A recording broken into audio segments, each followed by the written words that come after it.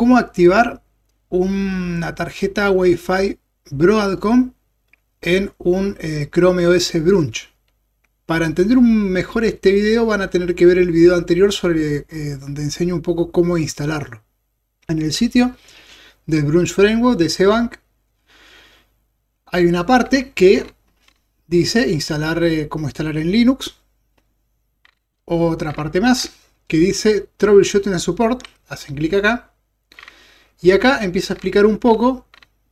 Hay una partecita que es Framework Options. Bien, opciones de framework. Y acá les va a tirar eh, unas opciones que van a ir habilitando cosas. No tiene todo habilitado. La parte que vamos a usar para Broadcom es esta. Bien, ¿dónde ponemos este argumento? Bueno, vamos a tener que ir a la partición. La voy a abrir. La tengo acá. Y acá tengo el IMG y acá tengo los argumentos eh, para poner en el group. Entonces lo voy a abrir. Perfecto, acá están los argumentos. Lo que voy a pegar es esto de acá y este de acá para eh, abrir en modo settings. Bien, yo esto lo voy a copiar.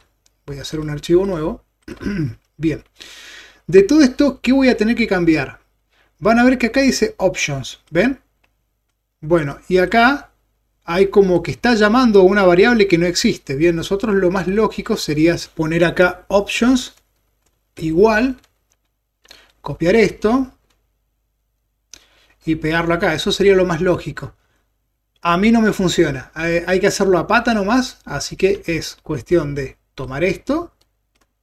Vamos a tomar esto, lo vamos a borrar nomás. Y lo vamos a pegar aquí. Bien. Ahí vamos a buscar todos los que son option igual. Por el control F, option igual, y tenemos tres en total. Entonces tenemos que agarrar acá, reemplazar options por esto, un espacio, y acá ponerlo ahí. Bien. Vamos a cerrar acá. Y acá todos los options nos quedaron con un Broadcom bar-WL. Una vez que hagamos esto y esto lo copiemos en la entrada de Group, por ejemplo con Group Customizer, que es lo más fácil, o sea, yo edito acá y a esta entrada la reemplazo por esta. Y con eso ya al reiniciar debería funcionar. Bien, supongamos que, hagamos, que hacemos todo esto y no nos funciona. Sigue sin funcionando la placa Broadcom. Lo que tenemos que hacer ahí es ir acá y empezar a probar la misma instalación que yo hice en el video anterior, pero en vez de 107, ir probando.